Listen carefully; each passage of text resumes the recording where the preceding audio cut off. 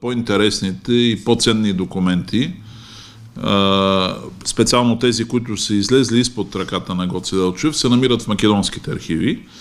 И това е част от онази документална колекция, която България предава на тогавашната Народна република Македония през 1946 година, заедно с костите му, на македонската страна.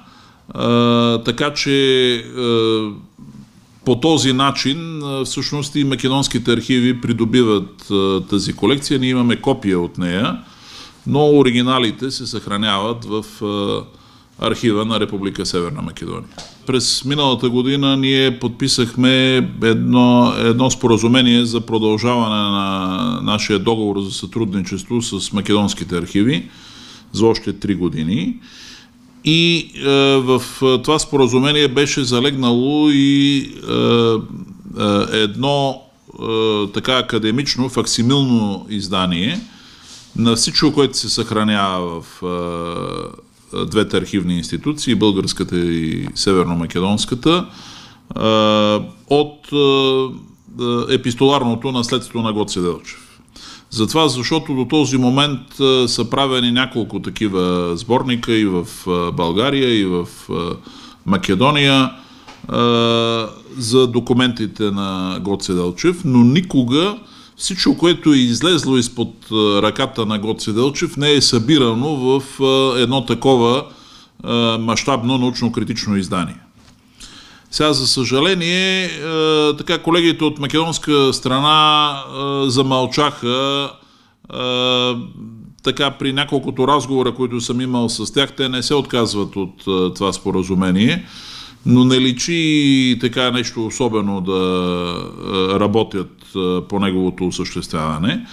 Във всеки случай ние не сме се отказали от идеята до година, когато се навършват 150 години от рождението на Гоце Делчев, да направим такова издание, поне що се отнася до българските архиви, това, което се съдържа в нашите архиви. Трябва да кажем, че документи за от, излезли от ръката на Гоце Делчев имаме не само в структурите на Държавна агенция архиви, но ние имаме и в Националната библиотека, имаме в музея в Благоевград.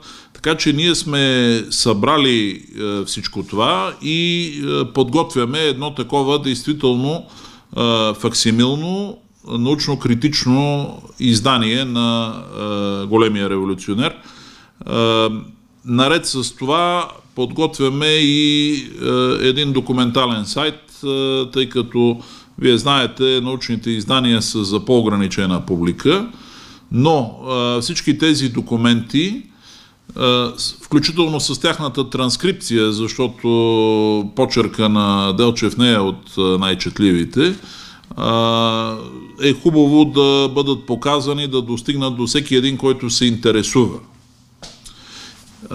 Четейки документите излезли изпод ръката на Гоце Делчев, ние можем да видим, разбира се, на какъв език пише той, както и така най-интимните му чувства, мисли, вълнения, копнежи и така нататък.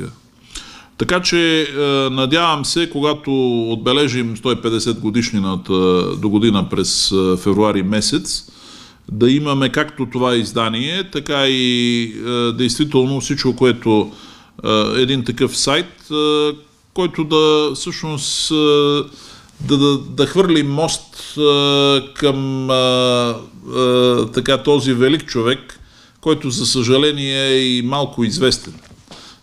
Включително междувременно има и новопоявили се документи. Става дума за архива на един от неговите близки съратници, ръководител на Дупнишкият е, граничен пункт на организацията Никола Малешевски. Ние искаме да включим тези документи и да направим едно именно е, така пълно и научно-критично издание.